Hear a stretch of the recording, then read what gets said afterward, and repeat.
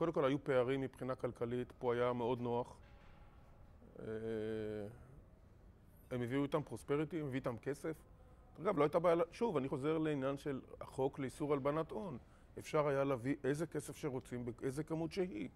אף אחד לא שאל שאלות, המדינה עודדה את זה. אה, נתיב, כסוכנות של המדינה, עודדה את זה. אה, זאת אומרת, מבחינתם היה נוח מאוד, נוח מאוד, לא הכירו אותם פה. הם באו לכאן במסגרת יהדותם, לא היו צריכים להתאמץ הרבה כדי להוכיח את יהדותם, מספיק שהם הביאו איזשהו מסמך. אה, שעל מקורו או על האותנטיות שלו אפשר להתווכח. ו... והמדינה נתנה להם מיד אה, סל קליטה, ונתנה להם מיד הטבות, ועזרה להם וכולי. אה, מאוד נוח, וגם אם אני לוקח למשל הגירה למקומות אחרים, אז במקומות אחרים הם היו צריכים להתחיל לבד. פה הם מתחילים, הצעד הראשון, לאלה שלא היה להם, המדינה תמכה בהם בצורה מאוד מאוד בולטת. אלה שהיה להם ממילא, ראו, ראו את ישראל כ, כטרנזיט. דרך אגב, מה שקרה בפועל. הגדולים לא נשארו פה, וראו את ישראל כמדינת מעבר, שבאים, מקבלים ממנה את האזרחות, את הדרכון, את ה... זה טוב תמיד, כי אני מזכיר לכולם שלא מסגירים אזרחים ישראלים. אז היה חוק שמנע הסגרה של ישראל, אז תמיד אפשר היה לברוח לכאן, ו...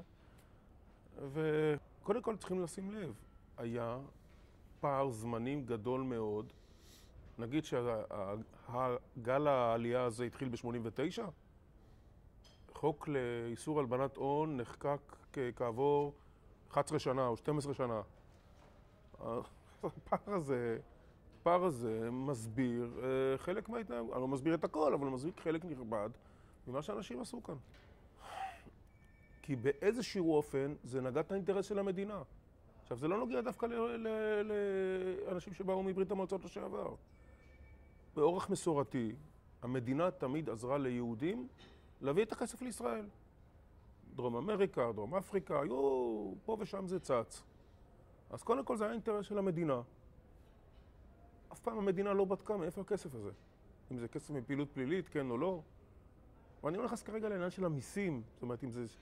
אבל פלילי נטו, כן? אם זה סוחר סמים מדרום אפריקה או סוחר סמים מדרום אמריקה עשה את הונו מפעילות פלילית והביא אותו לארץ, כולם אמרו, מחאו כפיים. ו... ולכן המדינה איפשהו תמכה בעניין.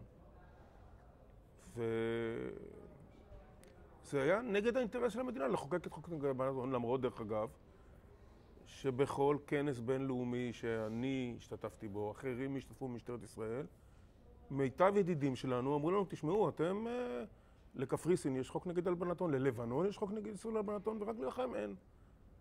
ולצערי הרב, המדינה לא מיהרה, לא מיהרה לחקוק, לחוקק את חוק אה, איסור הלבנת ההון. אני, אני, זה, זה התחיל בדרך אגב בכלל בתחום של הסמים. אני מזכיר שהייתה כאן איזושהי אבולוציה בבחינת החקיקה הישראלית. זה התחיל מזה שהיה חוק של uh, uh, forfeiture של uh, החרמת רכוש שהושג ב, ב, בפלילים, שזה היה הצעד הראשון. אמנם היה הרבה יותר מינורי והתאים בעיקר לעבריינים הישראלים, הישראלים פה בבית.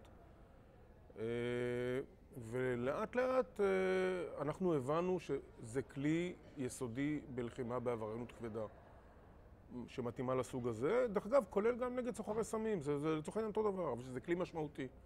וגם בלחץ המדינות האחרות. עכשיו, היו פה כמה מסלולים. היה במסלול של אכיפת חוק, היה מסלול של משרד, של אה, דיפלומטיה. היו כמה וכמה מנגנונים שלחצו על ישראל לחוקק חוק נגד, לאיסור הלבנת הון, הבעיה היא שהמחוקקים, בית המחוקקים הישראלי, לא מיהר. וגם כש... למה? כי היו בפנים אנשים אינטרסנטים, מקשת רחבה מאוד של פוליטיקאים, שלא רצו, כי הבינו שזה זה, זה גול עצמי. זה גול עצמי, כי אז אנשים יפסיקו, היהודים יפסיקו להביא את הכסף לישראל.